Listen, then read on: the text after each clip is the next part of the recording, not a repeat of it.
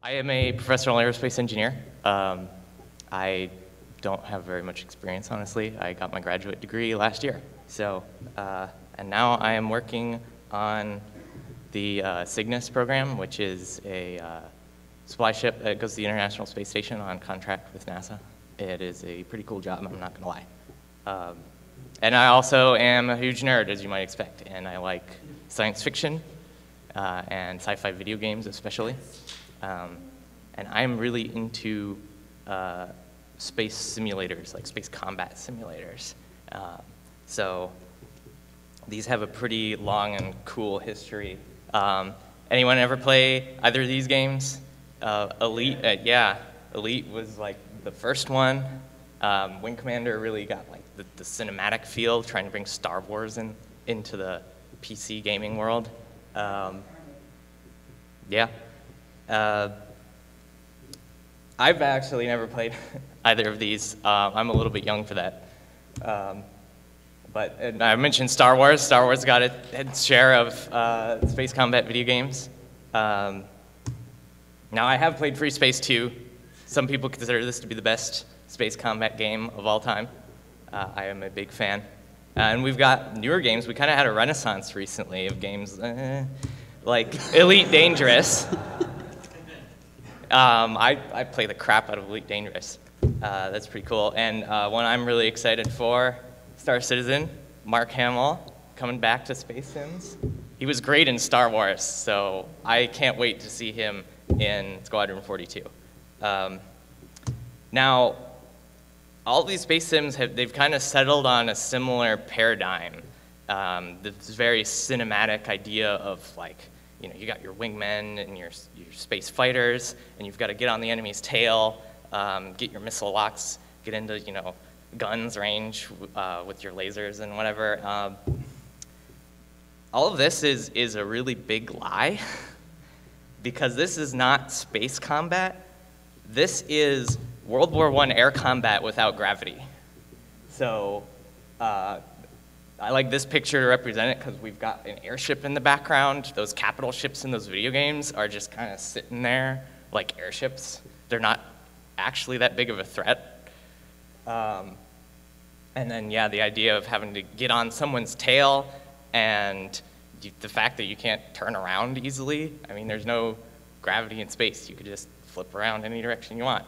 And there's obviously a good reason for this because we want video games to be fun. Um, and, well, space combat might not be that fun, at least not in this way. But we'll get to that. So, um, I haven't gotten a chance to test the audio, so let's hope this works. This recruits is a 20 kilo ferrous slug. Feel the weight! Every five seconds, the main gun of an Everest-class dreadnought accelerates 1 to 1.3% of light speed. It impacts with the force of a 38 kiloton bomb. That is three times the yield of the city buster dropped on Hiroshima back on Earth.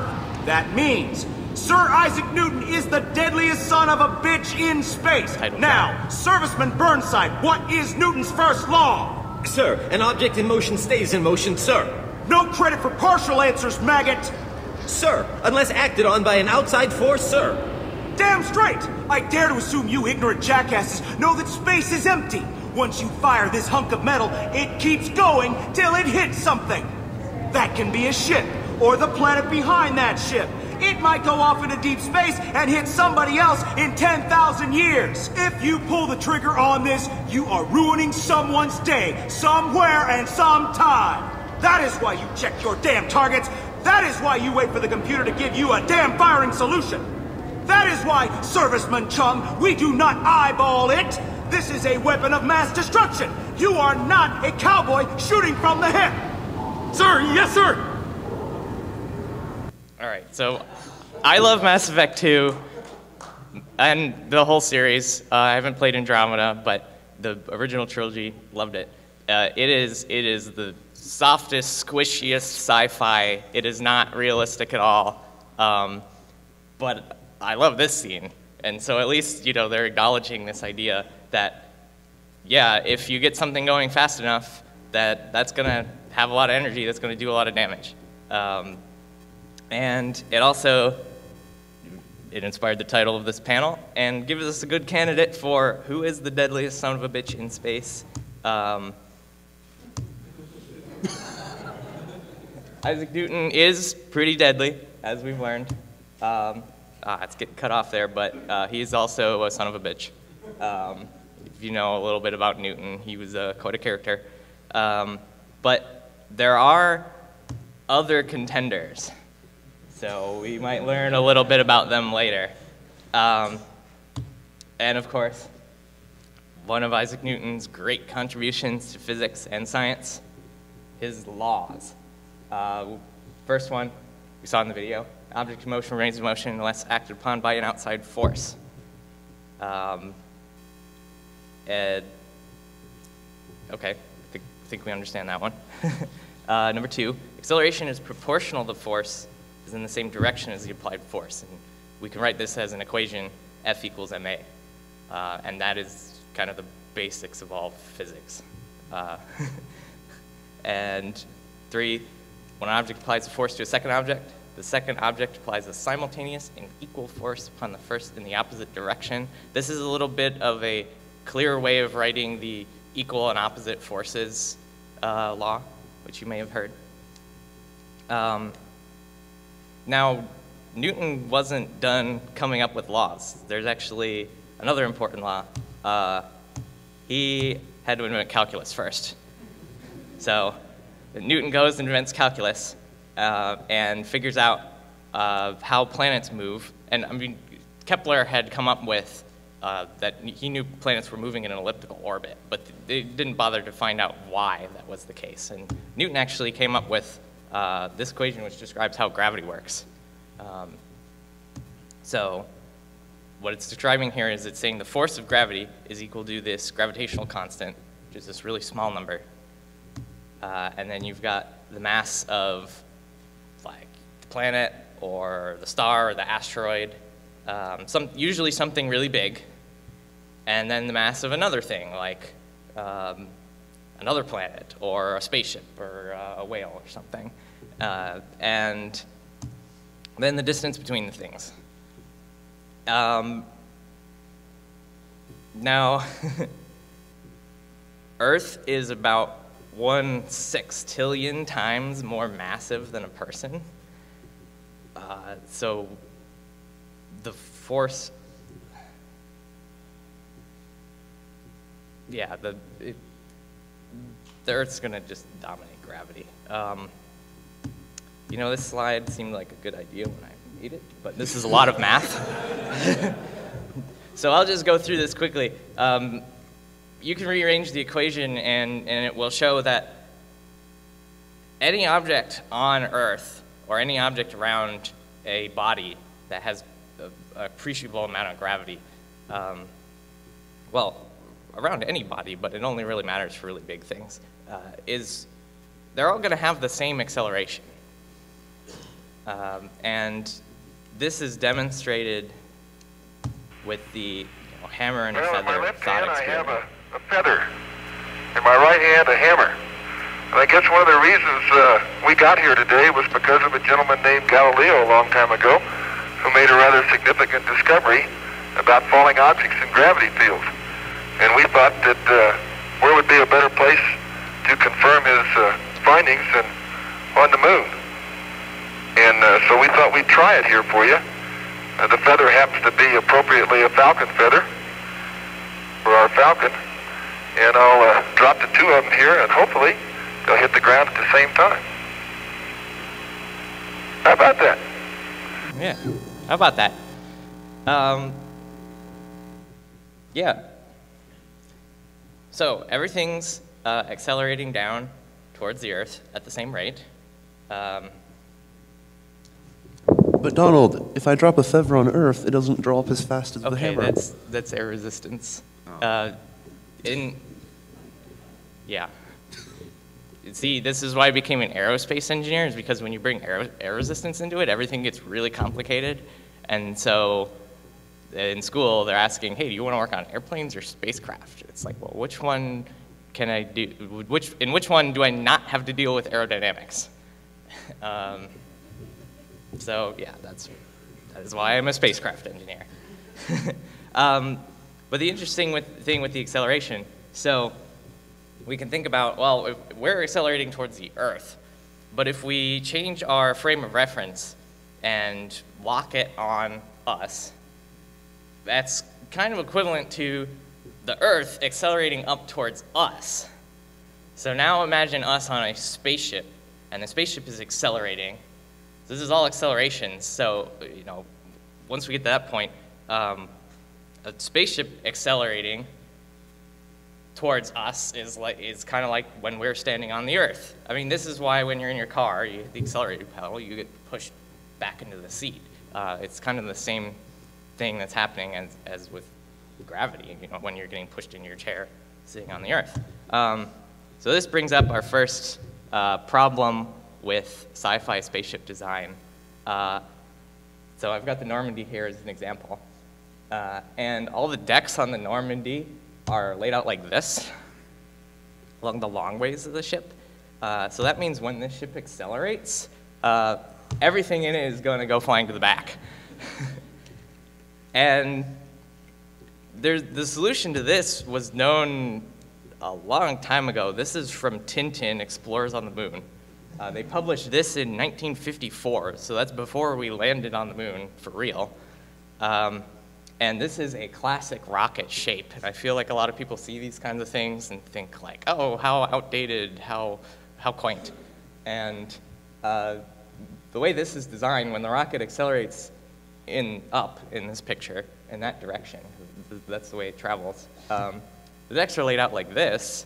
And so uh, the rocket accelerates and you get pushed into the deck just like if there were gravity. Uh, okay. So now we're going to talk about orbits, moving around in space. So we, have, we know how gravity works. Uh, so we're going to do a little thought experiment. We're going to build a huge tower. Let's say it's uh, a few hundred kilometers high, like 400 kilometers. It just happens to be how high the ISS orbits. Uh, we're going to stand up there on our giant tower. Uh, yeah, well, this is a magical thought experiment tower, and it does not collapse. Um, and we're, we're going to hold a baseball, and we're just going to drop this baseball off the tower. And so there is a, a range component in our equation describing gravity, but at 400 kilometers, the force of gravity is over 90% of what we feel on Earth. It, it falls off relatively slowly. And so we, drop this ball, it's just gonna, it's just gonna fall all the way down. Um, but what if we threw it? So we throw this ball, and it's got this nice arcing trajectory, and what you'll notice is that the ball has fallen farther, um, at least in the direction of down in this picture, because the Earth is curving away from it. So you can imagine if we throw this ball hard enough, uh, it will fall towards the Earth and miss. And that's all an orbit is. You're falling at the Earth and missing. Um, and because when, you know, the ball falls, misses the Earth, okay, it's over there now. Well, gravity is pointing now to the right. So it keeps, it still has momentum in the downward direction of this picture, so it keeps falling that way, but now it's also going to be pulled in towards the center. And in that way, it travels around and around constantly. Um, all right, it's early in the morning, uh, so we're going to do something fun to demonstrate this. So if I could ask everyone to please stand.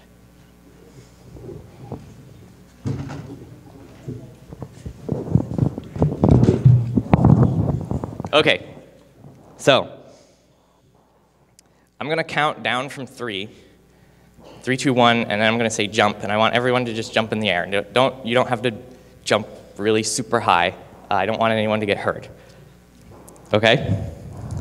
Three, two, one, jump. Congratulations, you've just experienced weightlessness. Get your astronaut wings on the way out. just kidding I don't have any astronaut wings. But uh, as soon as your feet leave the ground, you are in free fall. Even if you're traveling upwards, your acceleration down towards the earth is the same. Until you hit the floor, you stop accelerating. Um, and free fall is what astronauts experience when they are in orbit because they are constantly falling at the planet and missing. Um, and since everything accelerates toward the Earth at the same rate, uh, if, if I'm holding an object and I'm in orbit in free fall, I let go, it's going to fall with me and appear to be floating in the air.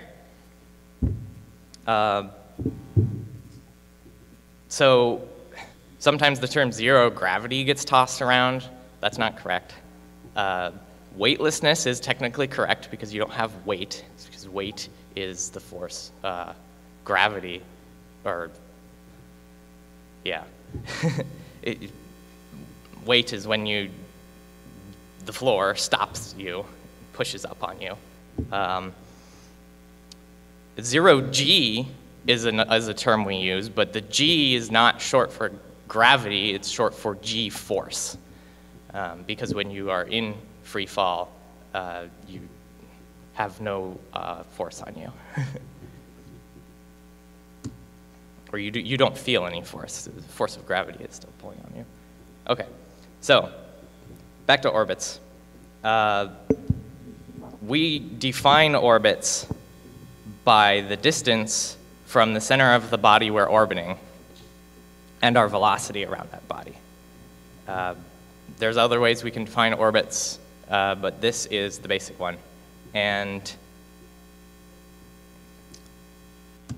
if we want to change our orbit, we have to change uh, one of those things. And we can't just arbitrarily change our position. Uh, so we change how fast we're going. So if we're in a nice circular orbit around our planet like this, and we speed up, our orbit is going to change like this. Um, now, all orbits are ellipses, and an ellipse has two uh, foci, focus is, and the body that we're orbiting is always at one of the foci, or focuses. and um, the point in the orbit where we are closest to the body we're orbiting, we call the periapsis, and uh, farthest away, the apoapsis. I always think of apex, like if you're at the top of a mountain, you're at the apex, you're farther away from the earth, apoapsis. Um, and uh, a circle is actually a special kind of ellipse where uh, both of the focuses are at the same point. So if we keep speeding up, our ellipse uh, keeps getting more eccentric. Uh, and eventually, we will gain enough speed where we reach escape velocity. And uh, our orbit turns into a hyperbola or a parabola. These are all conic sections. You don't really need to know that. Um, the important part is that orbits are ellipses. And there's an interesting property of elliptical orbits. So uh, we've got two spaceships here starting at the same point. And one of them is going to do our circular orbit, and one of them is going to do our elliptical orbit. And uh, as they travel,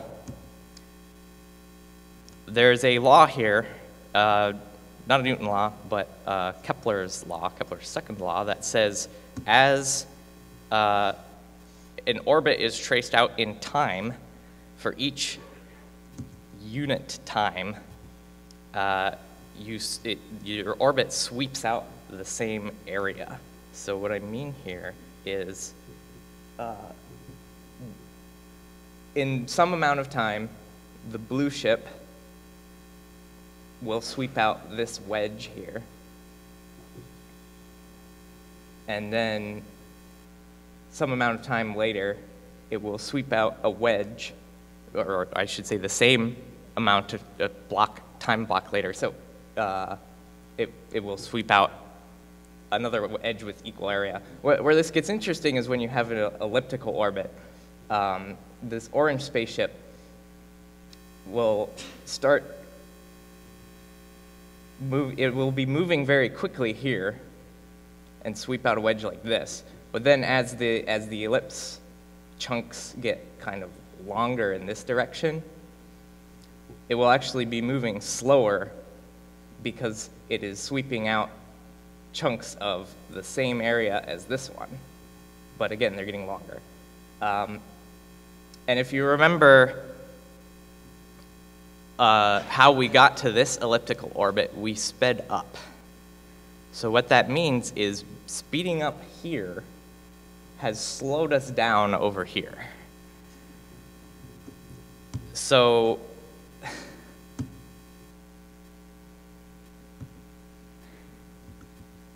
the, yeah, so basically in an orbit, if you speed up, uh, you slow down. it, oh, okay, thank you. All right. But how, ca how can we use this to get around? Well, if we're in one orbit, we want to get, let's say we want to get to a bigger orbit. We want to get to a higher altitude. So uh, the first thing we do, speed up here. Okay, so that elongates our orbit. When we get around to here, uh, we will speed up again. So that will make our orbit longer in the, on the other side. Uh, and if we circularize it, if we make it so now we are in another circular orbit, um, we're at higher altitude. We're in another circular orbit at a higher altitude. And, and moving orbits like this uh, is called a Hohmann transfer. Uh, came up with Walter Hohmann, and he was not a physicist or an engineer by trade. Uh, he did this in his spare time. And we can use Hohmann transfers to get to other bodies too. So uh, we're in the Earth-Moon system here. Uh, we speed up and we make our orbit so it encircles the moon. And we travel over there. This time we're going to slow down. So our velocity, uh, we, we turn our spaceship around and fire engines in the other direction, slow down, and start orbiting the moon. Um, of course, I've been talking about speeding up and slowing down. How do we do that in space? It's like, well, we're going to take advantage of Newton's laws again. Uh, if we've got something like that baseball from earlier, and we throw it, because of Newton's third law, we have an equal and opposite force. Uh, us throwing that ball, it is going to put an e equal force back on us. Now, of course, we're heavier than the ball, so we're, we're not going to get as much velocity. Um, but we do get some velocity. And so this is how we can move around in space, because we don't have anything else to push on. Uh, of course, just like having individual objects and throwing them isn't very efficient, so we usually we take a fluid, uh, a propellant, and you can imagine this like having you know millions and millions and millions of tiny little baseballs uh, and then we throw them constantly out the back of our spaceship with an engine. So uh, we've got a propellant, not a, not a fuel, but uh, a propellant. Um, we've got an engine. Uh, we exhaust we, we, uh, our propellant at some velocity. Uh, if you remember, you know, F equals ma. we get a force and we call that force thrust. Um, now, if you think about this, well, equal and opposite forces, force of the propellant that we exert on the propellant force on the spaceship, but F equals ma. So this is all going to depend on the mass of our propellant, um, how much we can move that propellant, how fast we can move it. It's also going to depend on the mass of our spaceship, and the thing is, we're carrying all that propellant with us. It's part of the mass of our spaceship. So as we get rid of propellant, our spaceship's getting lighter. Um, so our acceleration is going to change, and it's going to do so constantly. Um, and so to figure out how to deal with this, we've got the rocket equation. And it, you know, being called the rocket equation might give you an idea of how important this is to rocketry and aerospace engineering. And this uh, was coming, uh, it was credited to Tsiolkovsky, uh, a uh, Russian physicist. And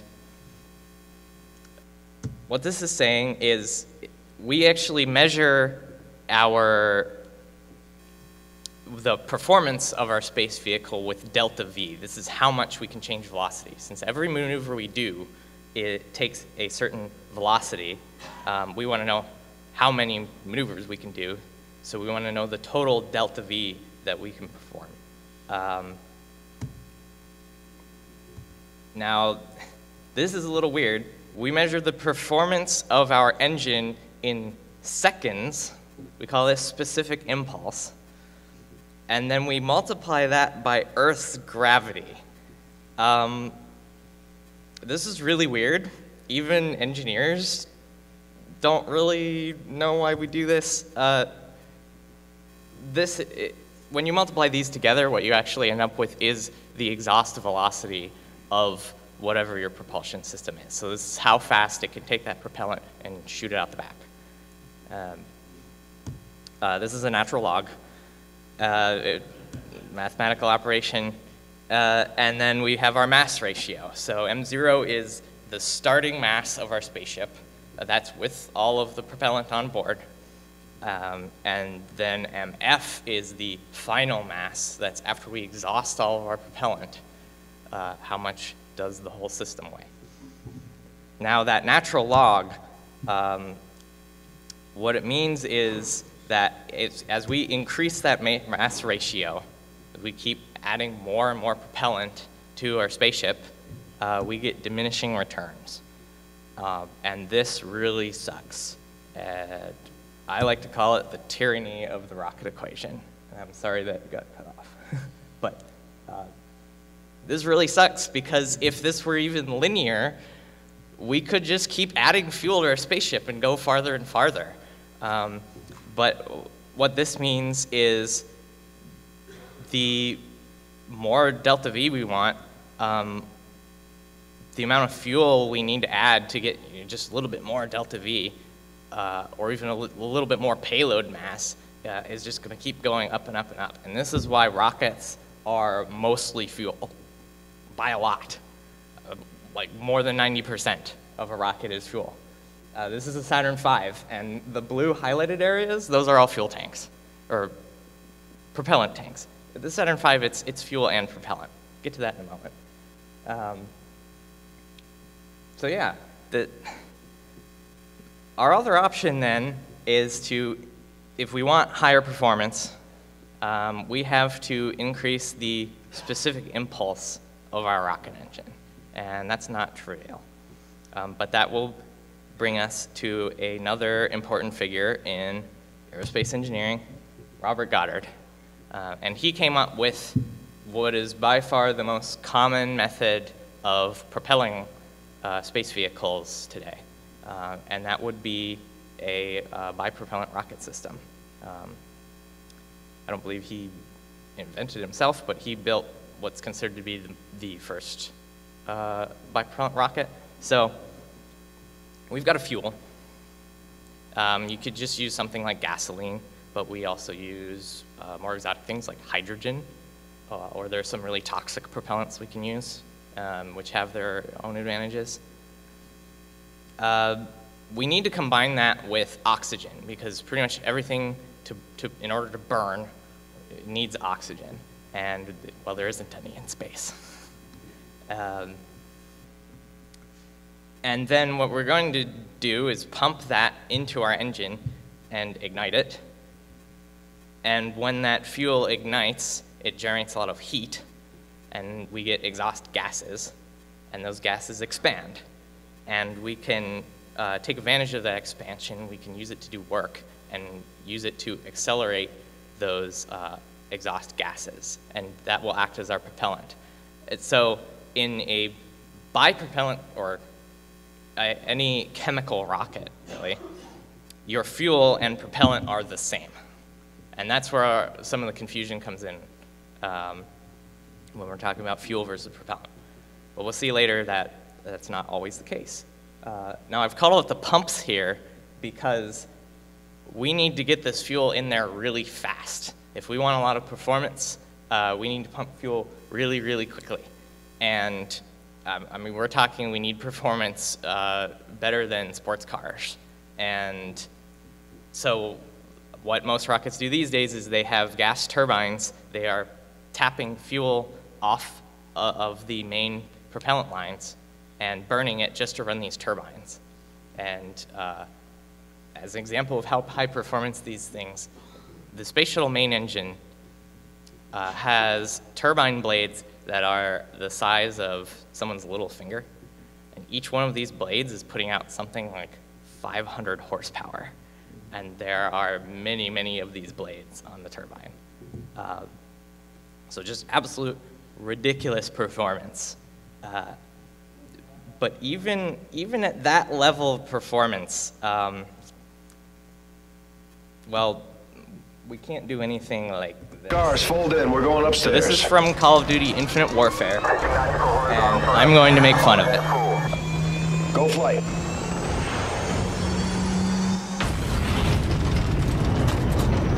I actually really like the sound design. Okay, so our intrepid heroes are boosting in the orbit to fight Martians or something, and so you can see altitude going up, um, speed going up. I didn't, I didn't actually check to see if those speeds were realistic. I'm wishing I did. Okay. So they're burning out at like 250 kilometers, which is lower than the International Space Station. Oh, I've got to point something out. Uh, over to the right, let me get my laser pointer here. Over here, that says 3 Gs and his engine's just burned out. He should be in free fall in 0 G. Come on, guys. All right. Let's get in there. Target's at 11 Okay. o'clock. Oh, and you might have noticed just a second earlier, their fighters deployed wings in space. Flares, flares! Um, all right, explosions. Michael Bay would be proud. Okay, we've got these capital ships here. They're just hanging out. They're just sitting there. I don't know what they're doing. They're just. I mean, this isn't this isn't World War I air combat. Those capital ships are back in the Napoleonic age. Um, and then when when the space fighter points directly at those enemy ships and boosts toward them, like we talked about earlier, that's not how orbits work, right? If you, if you can imagine, if, if they're in the same orbit and the hero space fighter is chasing the enemy and he boosts forward, I mean, remember when that orbit gets longer, he's going to slow down. So the, those enemies are actually going to get farther away from him. And so the way you, you would actually want to catch up to uh, someone like this, um, you might turn the butt of your spacecraft toward them and fire your engines in the opposite direction. That will make your orbit smaller. And so you, when you get halfway around the Earth, um, you will be going faster. Um, but what I want to talk about right now is the raw, ridiculous performance of this vehicle. So the, the fighter that the character was in in that clip was called the Jackal. And it's a space fighter. It, it can do everything. It flies in space, it flies on other planets, it flies on Earth. Um, I'm going to compare it to an F 22 Raptor. Uh, they, they actually look pretty similar. So, okay, in order to get to low Earth orbit, you need about 9.4 kilometers per second of delta V. So that accounts for uh, getting off the surface of the Earth, getting enough speed so you get into that orbit, uh, and also the atmospheric effects, because we do have to deal with the atmosphere. So I know I said earlier I didn't want to deal with atmosphere as an aerospace engineer. Well, even spaceships have to deal with it. Um, and so an F-22 fighter is about 19,700 kilograms dry, so that's with no fuel. Um, and our performance uh, of a liquid hydrogen and oxygen rocket, uh, which is about the highest performance rocket engine we can build right now. That's 450 seconds of ISP. Um, if you do the math out, the mass ratio ends up being 8.4. So you need about 8.4 times the F-22's mass in fuel in order to get it into orbit.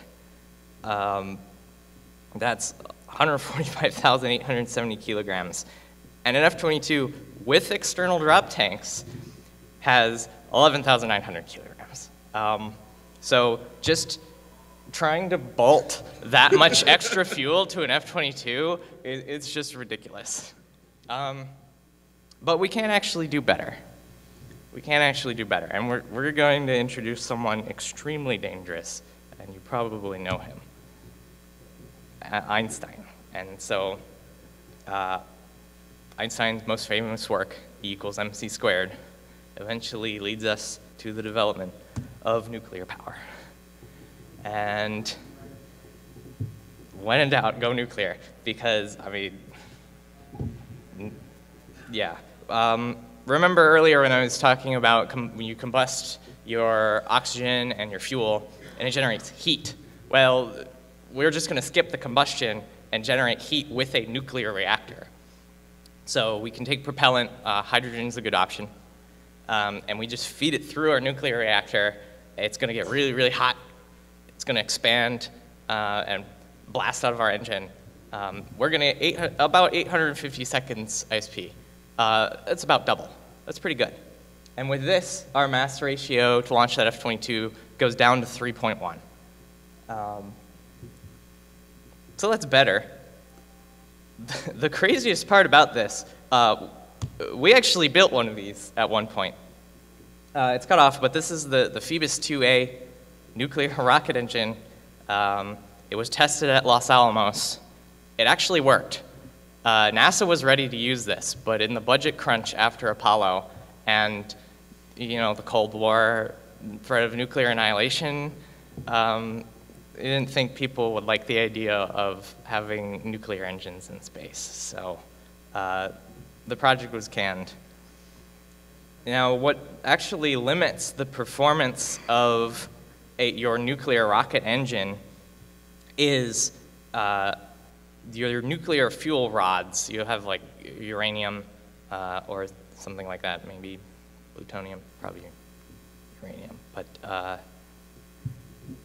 those rods, if they get too hot, they'll melt. So that's what's limiting your performance, because you want as much heat as you can get. Um, but then someone asks, what's the problem if they melt? In fact, what's the problem if they turn into a gas?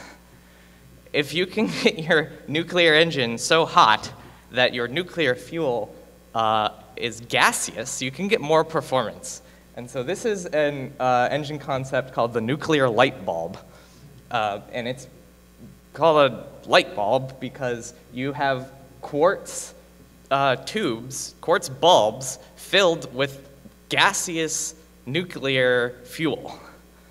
Um, and you, you know, this can get your ISP up to the point where actually that, that Call of Duty spaceship, if it had a nuclear light bulb engine, might be able to get to orbit. But then, of course, it would be out of propellant uh, and be a sitting duck in orbit.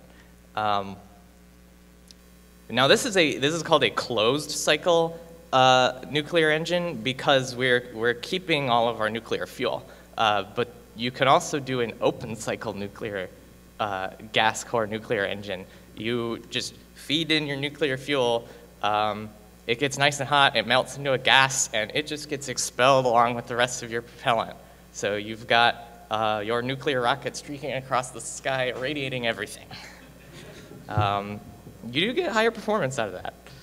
Um, and, it, and if this isn't cool enough or hot enough, uh, you could go to fusion power.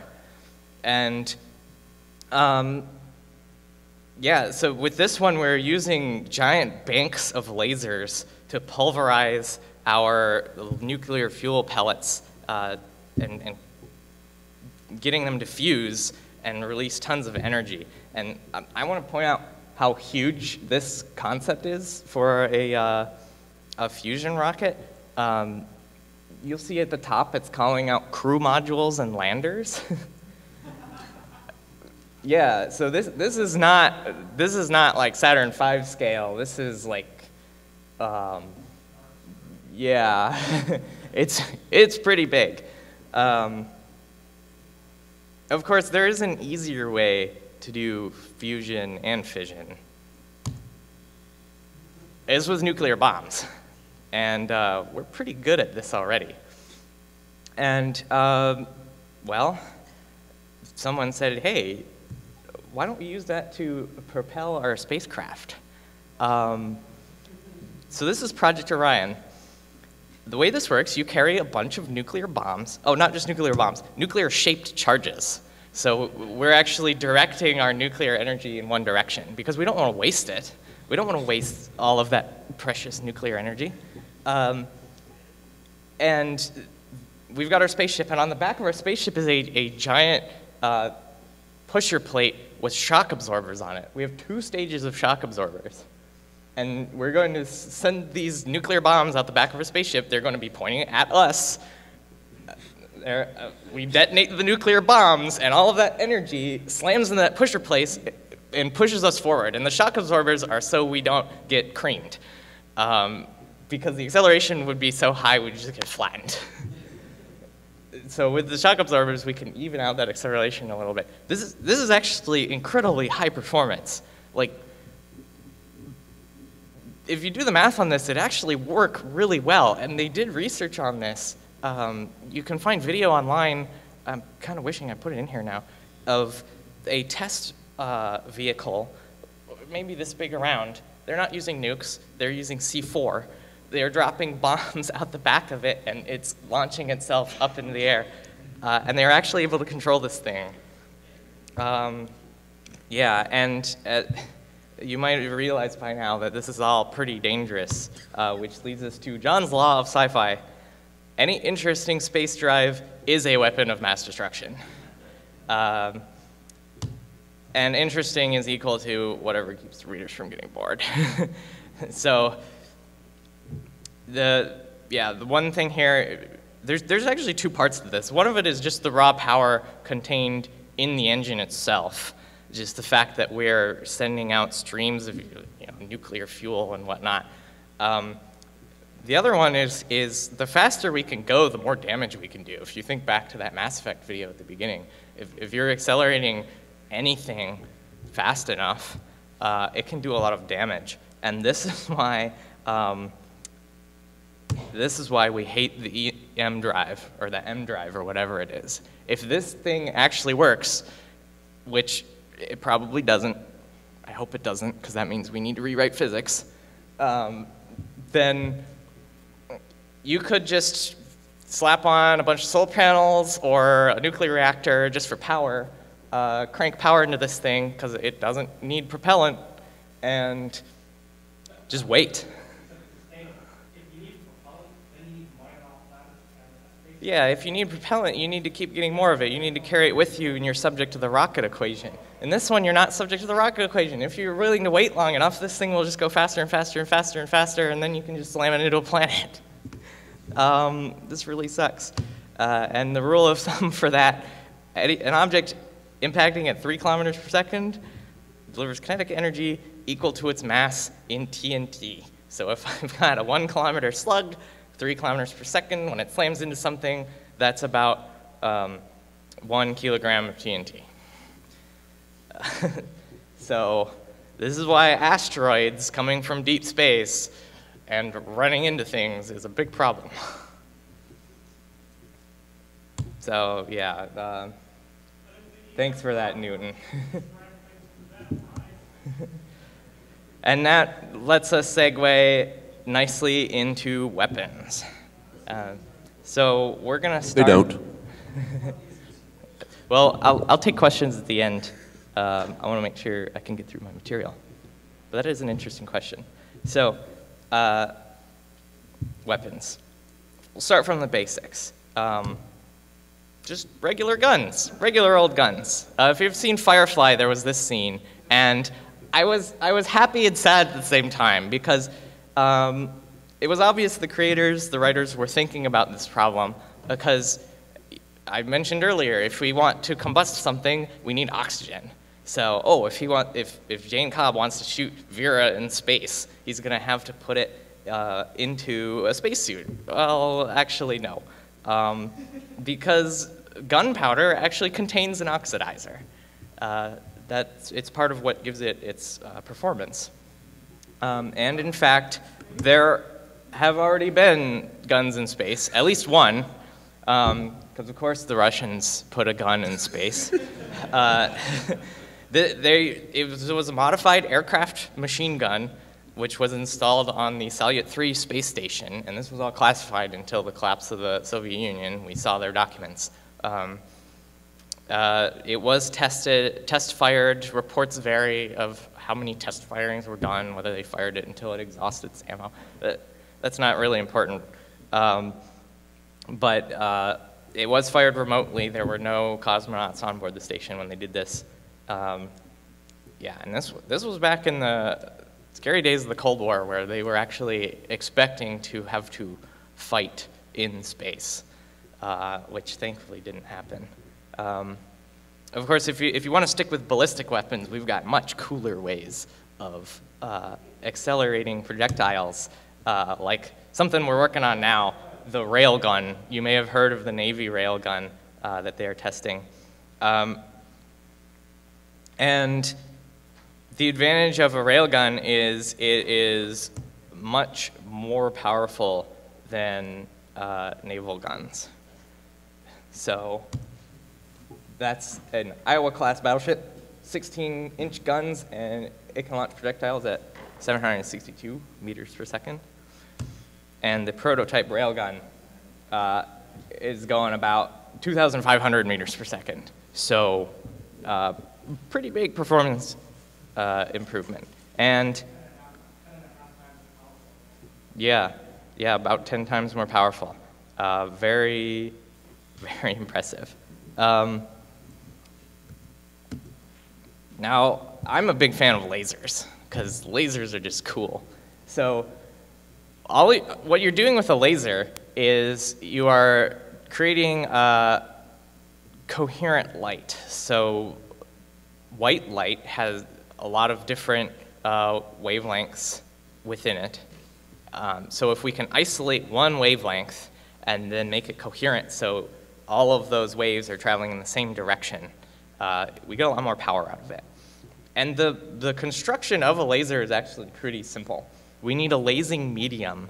Uh, one example is like ruby. You could use uh, ruby crystal.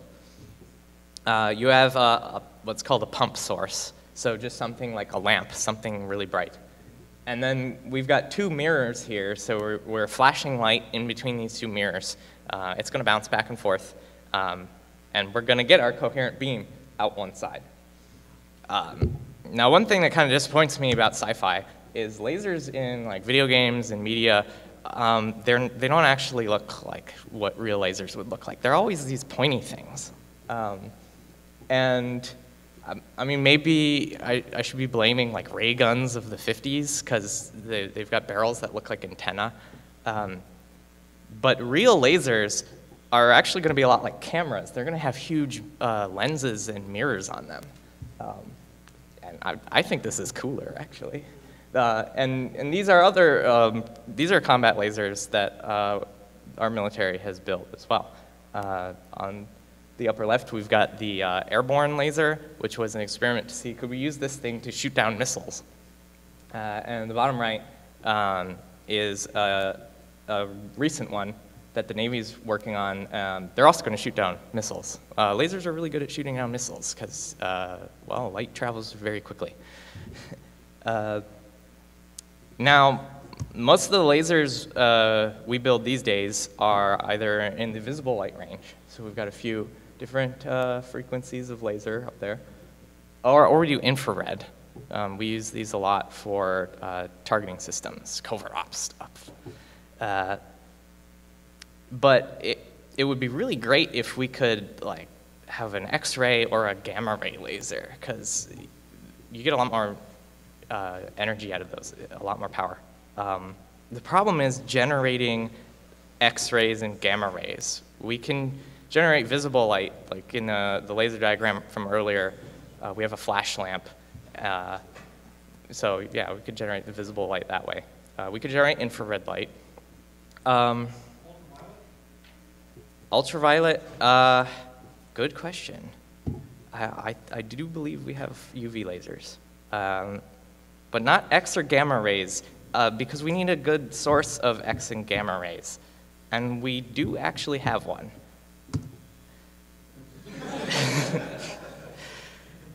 so, we build our laser, um, and we power it with a nuclear bomb. And we call this a nuclear pumped laser. And what, what's going on here is, like, hold on a second, nuclear bomb, that would destroy your laser. Well, yes, but in the split second before everything is vaporized, you would actually get a laser pulse. And this could be a, a great weapon uh, in space combat because space is empty. So we can set off nukes with fewer consequences. And uh, so if you want to use a nuke to power a laser, well, you don't want it on your ship, but you could put it on a missile and send it out, uh, detonate it, and you know get some extra range out of your missile. In, uh, and speaking of missiles, um, well, you know, sci-fi, it's all speculative. And one of the big things with sci-fi is trying to come up with uh,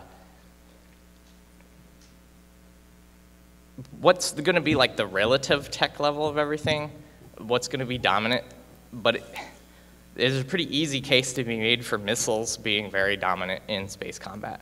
Um, and that's because you can get the most range out of, out of these missiles because they're going to have performance similar to your spaceships. So anywhere your uh, spaceships can go, your missiles can go. And as we learned earlier, all they need to be doing is going fast enough to, in order to do damage.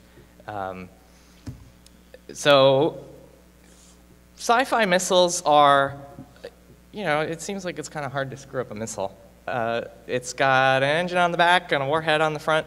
Um, that Star Citizen one up there has fins. It doesn't really need fins, but I guess in Star Citizen you have atmospheric combat, so I'll let it slide. Uh, Yeah, and that there's a, I mean, whether your vehicles are going to have the performance in order to fight in space and in the atmosphere in the first place is debatable. Uh, but um, I always imagine that space combat missiles are going to look more like this. And we don't make missiles that look like that because, well, in sci-fi, I mean, these look kind of boring. but the, these are based on, uh, these are real missiles that we use. Um, these are extremely high-speed uh, missiles from the Cold War that we use to intercept incoming uh, nuclear uh, ICBMs. Um, so on the left is the Sprint missile, um, which accelerates at something like 100 G, so that's 100 times the acceleration of gravity. Yeah, absolutely ridiculous missile. So that, that might be similar to something that would be used in space combat. Um, now, uh, I've only got a few minutes, but there's one more thing that I have to get to. Um, everything we've talked about so far, pr pretty much everything except for the missiles maybe, uh, it generates heat. And heat is a big problem. Um, and I like this. I like, I like one of the reasons I like Elite Dangerous is because heat is one of the biggest things you have to deal with, and that's sort of realistic. Um, you don't deal with it in the same ways you would in real life, but uh, it's, it just gets across how much of a problem heat is. So, like on the International Space Station, um, so we've got our solar panels. But then these guys here, these are all heat radiators. And radiators are not something you see in sci-fi a lot, um, maybe because they don't look cool or something. But a, a real spaceship is going to have wings. It's going to have radiators all over it. Uh, because lasers, for instance, are about 20% efficient. So that means 80% of the power you put into a laser is going to be wasted as heat. You have to get rid of all of that. And if you have, you know, giant, you know, city-busting lasers, that's a lot of heat to deal with. Um, those nuclear reactors are pumping out heat constantly. So, that, I mean, getting heat out is difficult. And there are, there are concepts for using better heat sinks, um, but uh, at some point you just can't beat thermodynamics. So, so I'm, let me wrap this up real quick and then I'll take questions. So what does a real space battleship look like? Well, the boring answer is A, there aren't any. Um, and that might be because of drones and, and missiles and, you know, that's boring. So let's look at, if we make some assumptions and come up with a uh, space battleship that might actually exist. Um, this is from a video game, an indie game called Children of the Dead Earth. Uh, it's pretty cool. It, the graphics are a little rough. The interface is not the most intuitive, but it has uh, real physics. Like the rules of this game are programmed with real life equations. And so uh, this is a space battleship that somebody made in the uh, Children of the Dead Earth. Um, you can see the interior here. It's got an interior structure uh, with fuel tanks, and uh, it's elongated um, to a point to take advantage of armor sloping. Uh, you can imagine uh, a projectile hitting a sloped surface is going to do less damage than hitting a perpendicular surface. Um, and the whole thing is cylindrical. It's got heat radiators off of it, coming off of it. So, um, yeah, it's true. So this is, this is from the trailer for the game. Um, and we'll get some scenes of uh, orbital navigation, so crazy orbits. Those are tracer rounds from uh, railguns, not lasers, beams. Um, you'll notice in a lot of cases, you won't even see the impacts, and like suddenly a ship is just spinning off into space. Um, that's probably because a missile is traveling at such high speed that uh, if you blink and you miss it. Um, so that's all I have for now, and I just want to give one more shout out. Uh, if you want to know more about space combat, I'm not associated with this guy at all, but uh, this is one of my favorite websites, Atomic Rockets. Uh, it's set up as a resource for writers who want to write realistic science fiction, but it's a great read uh, if you're just interested in uh, aerospace engineering and space physics. Um, and actually, Winchell Chung, who uh, wrote the website, if you remember way back to the beginning, that clip from uh, Mass Effect, uh, Serviceman Chung is a reference to Winchell Chung. Uh, so uh, I'm getting the sign that I have to end the con, or end the uh, presentation, not end the con. So thank you all for coming early in the morning. Enjoy the rest of MagFest. Uh,